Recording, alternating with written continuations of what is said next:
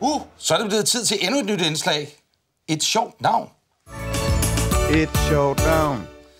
Ifølge TV2-nyhederne.dk, så står bandelederen Fisfis til syv års fængsel. Og det var altså Fisfis. Fisfis har tidligere været tiltalt for handel med over 200 kilo has. Sidste år lykkedes det Fisfis at gå stille og roligt ud af Odense Domhus, selvom der var 12 betjente til stede for at passe på Fisfis.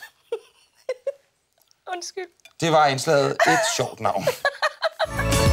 Et sjovt navn. Det sjove er, at jeg vil også godt lige sige til Fisfis, øh, fordi Fisfis er bandeleder i Odense, bare sige, Fisfis, det her det er et satireprogram. Og du skal bare skrive til snor, snabelet. Lige præcis. hvis du er utilfreds med indslaget. Uh,